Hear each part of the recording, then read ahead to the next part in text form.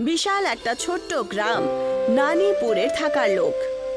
ও সব সময় কাজের জন্য গ্রাম থেকে শহরে যাওয়া আসা করত। কাজে যাচ্ছ, বিশাল দাদা?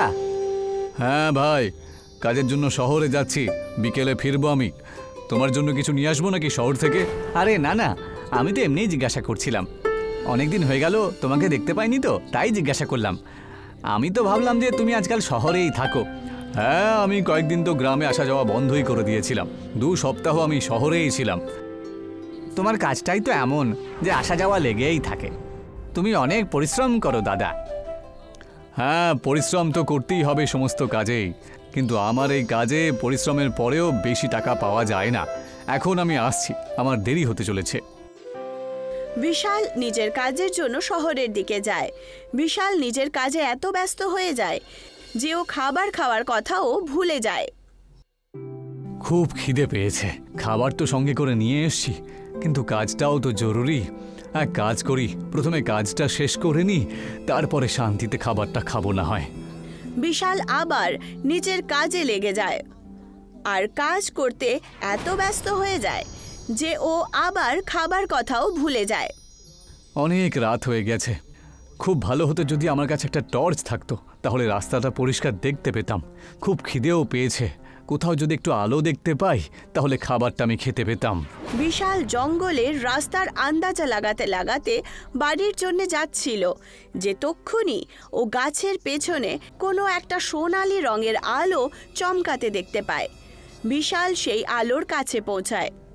কেউ কি আছে ওখানে? আমাকে একটু সাহায্য করুন। যখন অন্য দিক থেকে কোনো আওয়াজ আসে না তখন বিশাল আলোর কাছে পৌঁছায় আর দেখতে পায় যে ওখানে চাদর নিয়ে টিউব লাইট জ্বালিয়ে বসে আছে।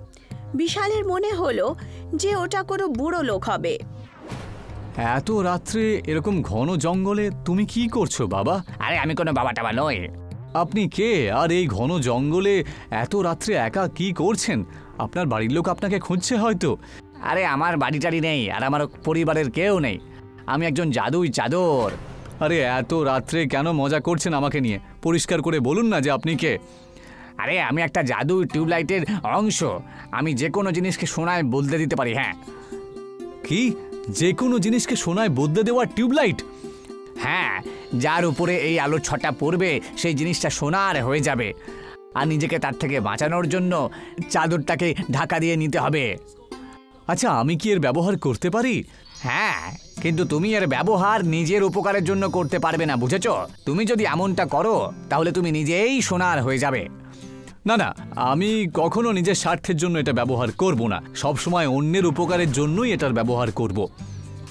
বিশাল সেই জাদুই চাদরটা জড়িয়ে নেয়, আর সেই টিউব লাইটটা অন করে। যেই মাত্র সেই টিউব লাইটের আলো একটা গাছের উপরে পড়ে ওই গাছটা সোনার হয়ে যায়। আরে বাহ! এ তো দেখছি সত্যি জাদুর টিউবলাইট। এখন আমি এর সাহায্যে অনেক মানুষকে সাহায্য করতে পারব।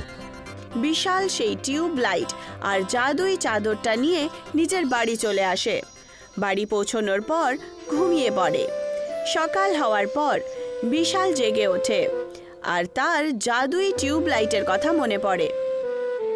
তাড়াতাড়ি টিউবলাইটটা ব্যবহার করে দেখি। বিশাল সেই জাদুই টিউব লাইটটা বার করে।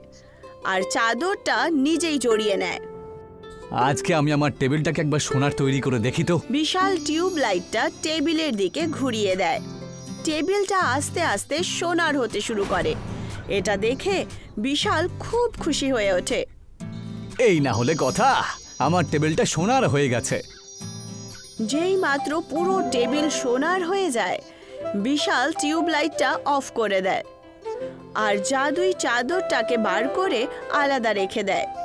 ও সোনার টেবিলটার কাছে যায়। বিশাল সেই সোনার টেবিলটা তুলে নেয় আর সেটা বাজারে নিয়ে গিয়ে বিক্রি করে দেয়। তার থেকে পেয়ে টাকা দিয়ে বিশাল অনেকগুলো ফল আর খাবার দাবারের জিনিস কেনে। বিশাল প্রত্যেক জায়গায় গিয়ে ফল আর খাবার বিতরণ করে। যখন সমস্ত জিনিস শেষ হয়ে যায় তখন বিশাল নিজের বাড়ির দিকে চলে যায় আর খাবার খেয়ে ঘুমিয়ে পড়ে। পরের দিন সকালে সে নিজের বাড়ির চেয়ারটা জাদুই টিউব লাইটের দ্বারা সোনার বানিয়ে দেয় আর সেটাও বাজারে নিয়ে গিয়ে শেকড়েকে বিক্রি করে দেয়।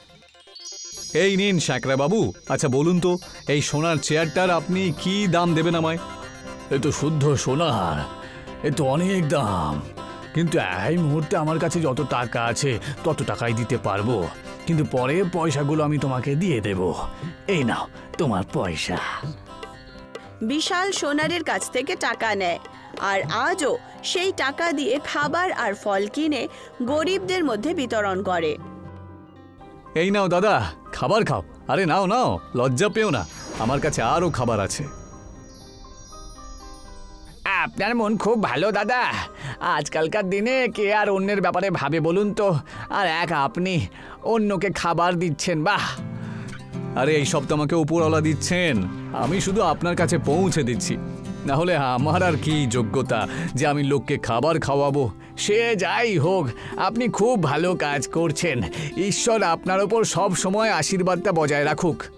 খাবার বিতরণ করার পর বিশাল নিজের বাড়ি চলে আসে। পরের দিন সকালবেলা যখন জাদুই টিউবলাইট দ্বারা বিশাল একটা বালতিকে সোনার বানাচ্ছিল তক্ষুনি জানালা দিয়ে রঘু দেখে ফেলে। আর এটা দেখার পর রঘুর মনে খুব লোভ আসে। আচ্ছা তাহলে এই গুপ্তধন পেয়েছে বেটা সেই জন্য এত বড় দানবীর হয়ে গেছে বেটা। বিশালের সোনার বালতি নিয়ে যাওয়ার পর রঘু তার বাড়িতে যায়। আর সে জাদুই টিউব লাইটটা চুরি করে নিজের বাড়িতে নিয়ে আসে। এবার হবে আসল খেলা। এখন আমি আমার বাড়ির সমস্ত জিনিস সোনার করে অনেক বড় লোক হয়ে যাব। তারপর আমাকে আর কোনো কাজও করতে হবে না। সবার প্রথমে আমি আমার বাড়ির দরজাটাকেই সোনার করে দেব।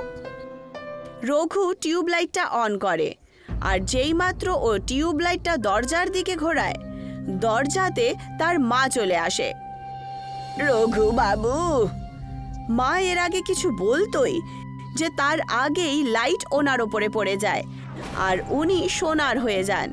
এটা দেখার পর রঘু কাঁদতে শুরু করে। মা এ আবার কি হয়ে গেল তোমার? মা তুমি কিছু বলছো না কেন? রঘুর খুব দুঃখ হয় যে তার লোভের কারণে তার নিজের মা সোনার মূর্তি হয়ে গেছে। আমাকে ক্ষমা করে দাও মা।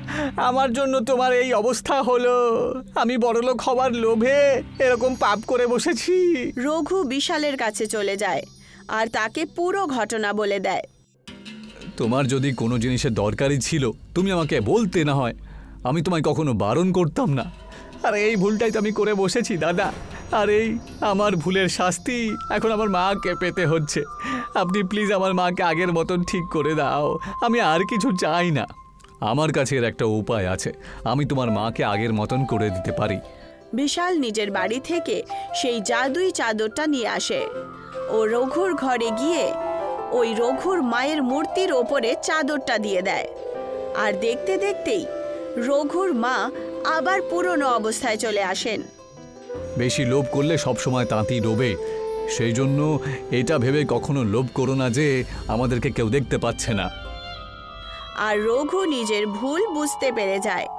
কারণ ওর মা ওকে আবার পেয়ে গেছিল। এখন ও আর কখনোই লোভ করে না।